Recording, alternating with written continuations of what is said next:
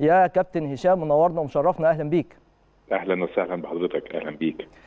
طبعا في البداية حابب أتكلم مع حضرتك عن الجوانب التنظيمية الخاصة بالبطولة بشكل عام وعايز أشيد كل الإشادة بالتنظيم الأكثر من رائع كل مؤسسات الدولة في الحقيقة وكمان الاتحاد المصري لكرة اليد واللجنة المنظمة مجهود وافر وملحوظ بشكل كبير جدا لكل المصريين. فعايز أبارك لحضرتك على هذا التنظيم الأكثر من رائع.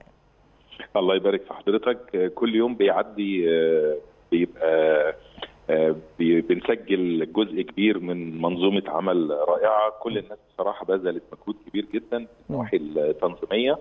الدولة بصراحة ما تأخرتش معانا على أي دعم. آه الحمد لله هانت الأيام بتجري بسرعة جدا يعني. م. لكن الناس كلها في منتهى السعادة حتى لو كان في الأول آه في شوية ملاحظات طبيعية طبيعي. آه في الأمور التنظيمية. آه بيتم تلافيها في آه وقتها والحمد لله أعتقد التقارير اللي جاية من البعثات كلها أكثر من رائعة الحمد لله. هو في الحقيقة كمان كان تحدي كبير قوي إن يتم استضافة البطولة في ظل هذه الظروف المعروفة للجميع واللي بيمر بها العالم أجمع في الحقيقة وهي يعني مكافحة ومواجهة فيروس كورونا المتفشي وكان تحدي كبير بالنسبة لنا إن إحنا نقدر ومسؤولية كمان متضاعفة إن إحنا نقدر ننظم هذه البطولة في ظل هذه الظروف الصعبة يا فندم. هو ده التميز بالظبط آه كل الناس اخذت طريق الالغاء أو بالزبط. ترحيل البطولات.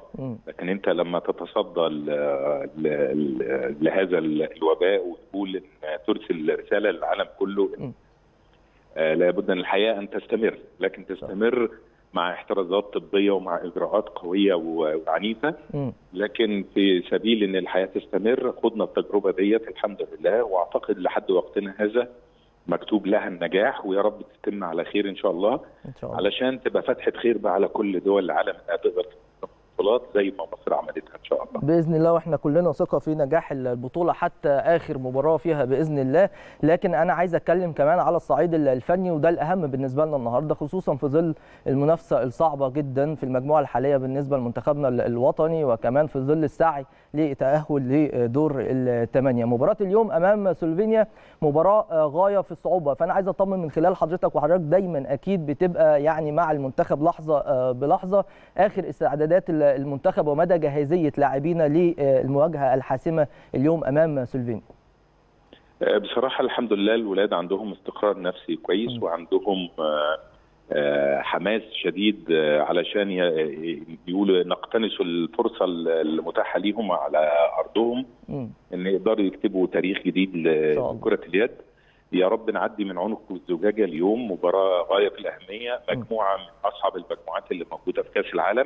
طبعا. أربع فرق من نفس المجموعة ليها فرصة الصعود للدور الثمانية. مباراتين حاسمتين اليوم. آه المباراة بتاعتنا والمباراة اللي بعدينا علشان يحدد مين في آخر لحظة الفرق اللي هتصعد وترتيبها إيه. الولاد عندهم حماسة قوية. ويتبقى بقى توفيق ربنا سبحانه وتعالى. إن شاء الله بإذن الله نكون موفقين. لكن أنا عايز أطمن بالتحديد على نجمنا علي زينو اللي كان تعرض لإصابة في المباراة السابقة. مدى جاهزية علي لمباراة اليوم وخصوصا إن هو أحد العناصر الهامة جدا جدا في منتخبنا الوطني. علي زين الحمد لله طمنا عليه. أكيد في إصابة بسيطة لكن مش هتمنعه من اللعب خصوصا انها في ايده الشمال. آه لكن هو جاهز وهيلعب بنفس الروح إن شاء الله. إن شاء الله. ويعني الحمد لله إن الفريق متكامل. طيب تقييم حضرتك بما إن حضرتك طبعا رئيس اللجنة المنظمة لبطولة العالم لكرة اليد وكمان رئيس الاتحاد المصري لكرة اليد. تقييم حضرتك لأداء منتخبنا على مدار مباريات البطولة حتى الآن هل في حالة رضا عن أداء المنتخب ولا لأ؟ من خلال نظرتك طبعا الفنية. هو المباراة الأولى أنا شخصيا حتى يعني. وجهت لهم شوية اللوم رغم الفوز. عايز أقول لحضرتك إن أنا رأيي الشخصي الفني هاندبول يعني م. أفضل مباراة اتعملت لغاية دلوقتي هي المباراة الشوط الأولاني بتاع المباراه اللي خسرناها مع السويد آه كانت فعلا. من ناحية مم. الهاندبول فنيا مم. حاجة ولا أروع فعلا لكن الحمد لله تعدينا موضوع الخسارة ده وادينا مباراتين قدام روسيا وبيلاروسيا أكثر من رائعين مم. يا رب يثبتهم إن شاء الله ويأدوا نفس الأداء ده في مباراة النهارده ويتكتب لنا الفوز إن شاء الله. طيب التمنيات والطموحات واصلة لحد فين في البطولة؟ بإذن الله عقب مباراة اليوم إن شاء الله يكون التوفيق حليف منتخبنا الوطني. لكن طموحات حضرتك وتمنيات حضرتك ممكن تكون واصلة لحد فين بمنتخبنا الوطني في هذه البطولة؟ أنا شخصيا بحب أمشي خطوة خطوة. حلو. أعدي الخطوة النهارده وبعدين نشوف النقطة اللي بعديها وهكذا. ما بحبش أقول يعني أماني وتمنيات ماشي. وبعدين يعني الواحد يتصدم بأرض الواقع. لكن بنمشي خطوة خطوة ولحد دلوقتي الأمور ماشية يعني الحمد لله على نهج كويس. تمام.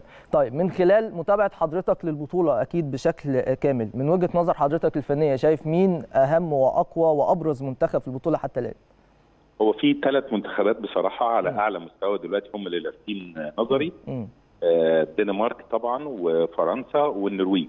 الثلاث منتخبات دول مستوى عالي جدا. تمام. وأتوقع إن دول هيبقوا موجودين في المربع الذهبي إن شاء الله. إن شاء الله. طيب أخيرا قبل مباراة اليوم هل كان في أي جلسات عقدت مع اللاعبين لتحفيزهم للشد من أزرهم قبل المباراة الحاسمة النهارده؟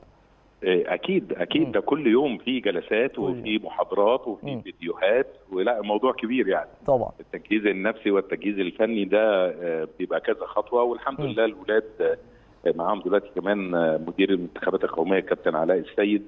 وقايم بدور كبير معاهم. إن شاء الله ربنا يوفق إن شاء الله. إن شاء الله كل التوفيق لمنتخبنا الوطني. يا كابتن هشام أنا بشكر حضرتك شكرا جزيلا. الكابتن هشام نصر رئيس الاتحاد المصري لكرة اليد ورئيس اللجنة المنظمة لبطولة العالم في مصر لكرة اليد. ومجهود كبير جدا طبعا بيبذلوه لإنجاح هذا المحفل العالمي في الحقيقة وهذه البطولة الهامة جدا. وكمان يهمنا قوي نجاحها على المستوى الفني من خلال كمان منتخبنا الوطني إن هو يكمل مسيرته في هذه البطولة. لحد دلوقتي إحنا ماشيين بشكل جيد. إن شاء الله نكون موفقين في الاستمرار بشكل أفضل كمان ونوصل لمراحل متقدمة. فبنشكر طبعا إلكابتن هشام نصر شكرا جزيلا على هذه المداخلة الهامة.